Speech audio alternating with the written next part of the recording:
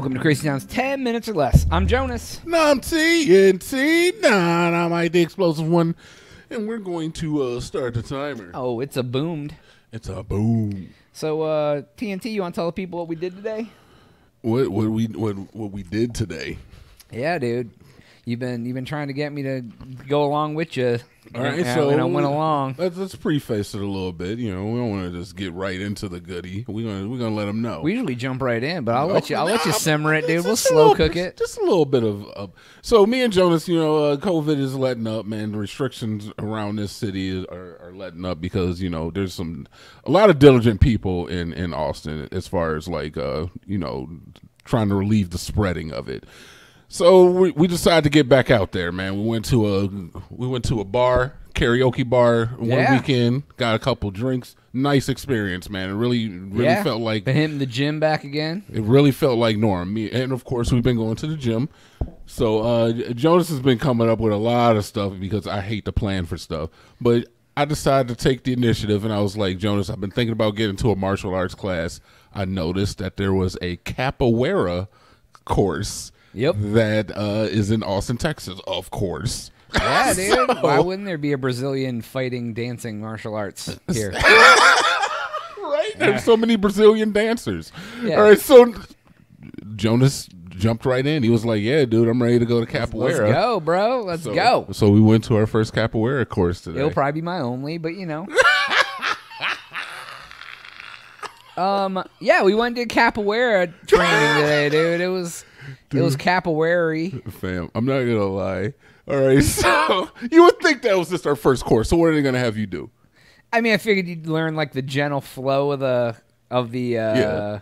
of the thing. Learn a couple kicks. So we learned like uh, if anybody's familiar with capoeira, like the I guess like the neutral stance of capoeira is the the jinga or the ginja. Yeah, And ginja. it- yeah, and it's uh it's that motion that Eddie Gordo does or that you've like seen in the movie. One, you, you put like one leg back, the opposite arm forward, and then you just kind of swing it back and forth Yeah. and back and forth. So it's kind of like it's keeping you loose and moving. Yeah, and keeping you it's loose. A good, like honestly, that's a good movement.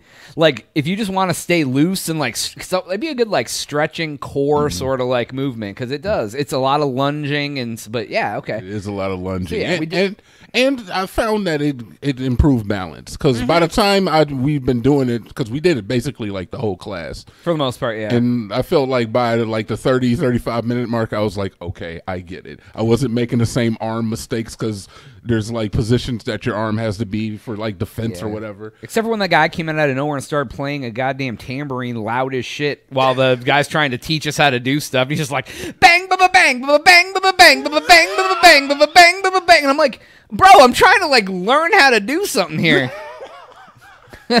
Came in in the middle of nothing. but he was the grandmaster teacher, so what are you gonna say to him, right? It's so funny because I didn't even notice it. Um, I really didn't. I know what you're talking about too. Yeah. But yeah, and we, we I don't know, man. We we did that. We did a lot of like just like exercises. Yeah, well, the first thing that I thought was weird is we were the only two people that showed up for the free class. Yeah. So, so there was us two, the teacher, well, the teacher's assistant, and then the guy who looked like Napoleon Dynamite, who looked like he did not want to be there in the slightest for any Uh, possible reason. I mean, look, he was just like, "Oh, dude, I'm going to capoeira class. Go learn some moves. Go get some advanced techniques. I'm a freaking yellow green belt." And he was, we come in there and he's learning basics and he's helping to teach like basic people.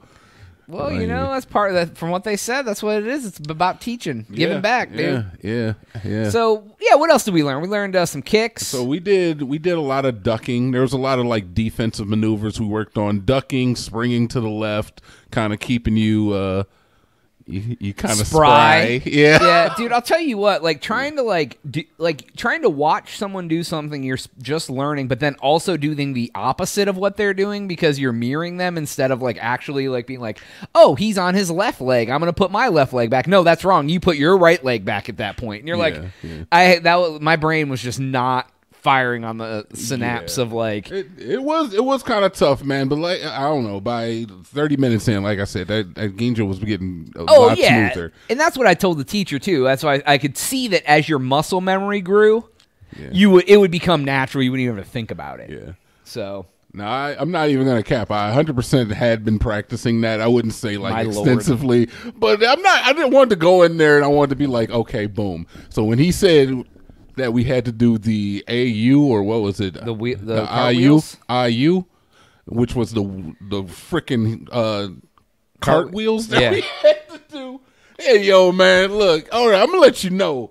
Your boy been in the gym a little bit, but I'm not doing no damn cartwheels. All right, I'm a man No. of a certain age, and I don't be out here doing cartwheels. And my boy Jonas, he don't do cartwheels. No, I, I did. I tried a little bit, but No. like a minute, I was like, oh, I got my. I was like, I just felt like I would break my neck. like my my my my thought process was: Is it so important I do this cartwheel that I potentially break my neck, or do I just kind of try to do one and make sure I'm I'm able to live? And they had like hardwood floors. Yeah, there was man. No mat. like, yeah, bruh, yeah. if yeah. I fall, I'm going to hurt myself. Yeah, exactly. And I was like, oh, I'll swing my hips over and stuff. Did it. Like, nah, dude, get the F out of here, man. Or you already had me ball barefoot. And my feet are black as the coal, dude. Like, when was the last time they mopped that floor in there, Oh, dude? I don't even know, dude, because I know I sweated all over that thing, man. yeah, dude, I got probably your sweat on my feet. Hey. That wouldn't be the first time. I don't know. how oh, that gross. I don't know. but But, uh, nah, dude. But overall, I would say it was good. I mean, I don't. Did, did you get the feeling that the teachers weren't that like into it? Like, it just felt like he I was going through the motion. I mean, he was doing it for free. You know. I mean, but that's how you get people to sign up, man. You got, Amen. Amen to that. And they definitely tried a little bit. Yeah. A little bit. And we got to play some drums, dude. some drums and so some tam- apparently there's a very strong correlation between uh, the actual like the ginja the the uh, neutral state of capoeira and the music you Yeah. need uh, the music is almost essential to the the style Yeah, I asked him, and he verified it is like the orchestra, the the, the uh, not the orchestra, the composer, Yeah. of of how they are fighting or Yeah. not fighting or play fighting or Yeah. real fighting, because you can get like dun, dun, dun, dun, dun, dun, dun, dun, real fast, and then they're like, oh, it's time to break some heads, or you can just be like. Doop papa doop papa doop papa doop, and then it's Yeah. like they're just like in there showing It's- off. They're like peacocking. spar- yeah, peacocking, sparring, the setting. You know, uh, yeah, it, it it's a very very interesting thing. We learned a lot about like the the birth of capoeira and about how it's a very uh, it's a very competitive, Very alpha sport, dude. very alpha. It has like a whole hierarchy that is kind of just defined on you being able to put somebody On their ass. on their ass. Yeah, Yeah. Yeah, beat them up a little bit. Yeah, the Let better 'em- you are, the less likely you're gonna get swept out and look Yeah. like a bee, dude. And if you get if you from a lower rank get caught like putting somebody from a higher rank on their ass, then somebody from a higher rank than the person you put on their ass is going to come and put your low rank ass on your ass. Yeah, dude. It, It's it, very competitive. it It's- just seems like it's like the it's it just reminded me of like just peacocking constantly. it it is, and and you know what? It, it it's They're gonna take their shirts off and get all oiled up and peacock. in front of each I, I respect it because it it, it kind of speaks to like uh where capoeira started. Oh, for sure. Like it, it's a hundred percent like uh, I hate to say it, but it's kind of like hood mentality, or even like I can see that. like a like a like a mafia mentality Yeah. too. Yeah, yeah. Where it's about yes, Well, here's the other thing. It's hard, I'm higher I'm higher ranked than you. Submit. Yeah. you know. but it's hard, dude. Like respect the like how hard it is on the body to do that stuff. You have to be in shape to do it. exactly, and that's why those that's why those people who are a certain rank feel like they deserve it. You know. Yeah, they're like, I've been keeping this up for 40 years. Like, yeah, get the hell out of here. dude and uh, they so apparently to even get to the highest belt in capoeira which uh, white belt right Yeah, white white belt. Yeah. you can't get there until you're age 40 Right. and the the guy who we were being instructed by he was like midway right he was like like The guy, the, the teacher guy, the owner guy that came in at the end. the teacher guy Yeah, he said he was like 56 at one point. 56 years old Yeah, he said he'd been doing it for 15 years.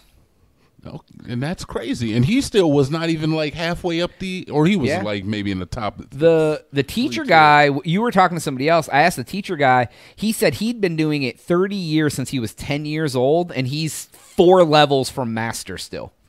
That's that's crazy Yeah, so he's a 30 year experience, and he still has four more belts to go. so it's like I I almost saw that as like the belt system isn't like really the the primary focus of. No, it's it's alpha man out, dude. And I kind I kind of like that honestly that the belt ideals are not the focus. It's more about just doing something that you like, you know? Cause, Exactly, Because a lot of people when you when you start throwing like uh you know uh trophies and like uh accolades accolades into something Yeah. it can de- disinterest people in something Yeah, so yeah, exactly. it's about going out there and having fun Exactly. So we're out of time. So you signing up or no? absolutely not I am not either. So that's all the time we have for today's episode. Please go to thecrazytown.com and subscribe for Jonas. do you think Uh, we out.